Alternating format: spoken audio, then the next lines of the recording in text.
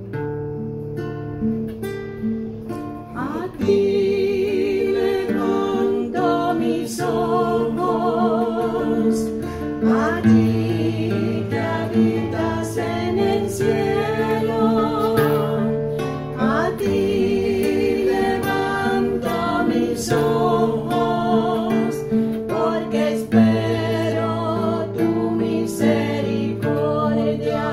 Viernes de la cuarta semana de Cuaresma del Evangelio según San Juan capítulo 7 versículo del 1 al 2 y versículo 10 y del 25 al 30. En aquel tiempo Jesús recorría Galilea, pues no quería andar por Judea porque los judíos trataban de matarlo. Se acercaba ya la fiesta de los judíos, llamada de los campamentos. Cuando los parientes de Jesús habían llegado ya a Jerusalén para la fiesta, llegó también él, pero sin que la gente se diera cuenta, como de incógnito. Algunos que eran de Jerusalén se decían, ¿no es este el que querían matar? Miren cómo habla libremente y no le dice nada. ¿Será que los jefes se han convencido de que él es el Mesías? Pero nosotros sabemos de dónde viene este. En cambio, cuando llegue el Mesías, nadie sabrá de dónde viene. Jesús, por su parte, mientras enseñaba en el templo, exclamó, con que me conocen a mí saben de dónde vengo.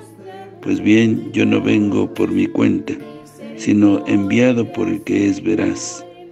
Y a él ustedes no lo conocen, pero yo sí lo conozco, porque procedo de él y él me ha enviado. Trataron entonces de capturarlo, pero nadie le pudo echar mano, porque todavía no había llegado su hora. Palabra del Señor. Gloria a ti, Señor Jesús. La enseñanza de Jesús en este capítulo de San Juan se puede distribuir en tres momentos. Antes de la fiesta de las chozas, que va del capítulo 7, versículo 1 al 13. En medio de la fiesta, versículos 14 al 36.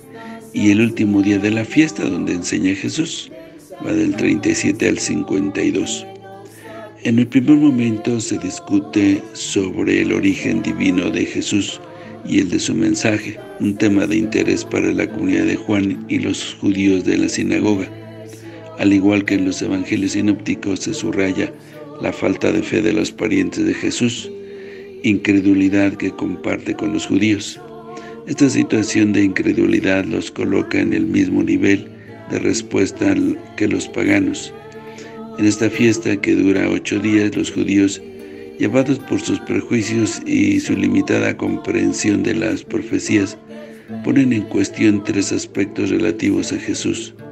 El origen de su enseñanza, su identidad como Mesías enviado por Dios y el destino final de Jesús junto a Dios, quien lo envía.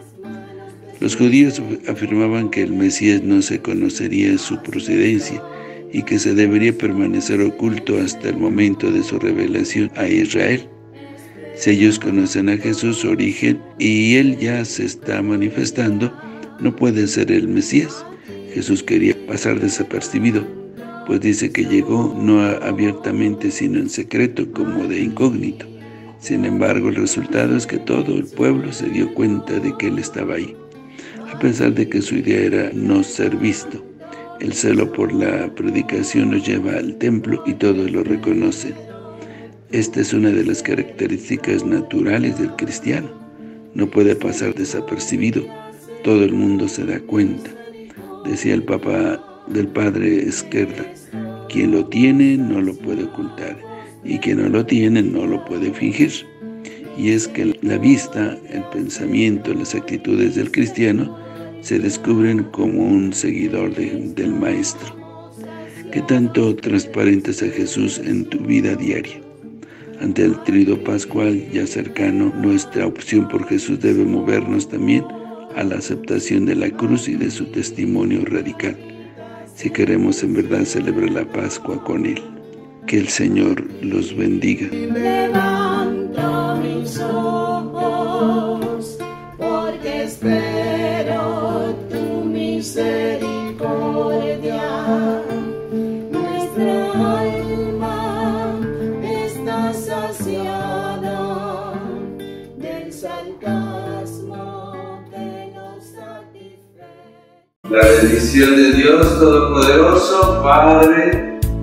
Hijo y Espíritu Santo, descienda sobre ustedes, que los acompañe siempre. Que el Señor los bendiga. Si te gustó este video y deseas seguir recibiendo el Evangelio, misa en vivo, oraciones y muchas reflexiones más, ayúdanos a seguir creciendo. Suscríbete a este canal de YouTube. Activa la campana de notificaciones. Deja tu comentario. Dale me gusta. Y compártelo con todos tus seres queridos. Que el Señor te bendiga a ti y a toda tu familia. Bendiciones.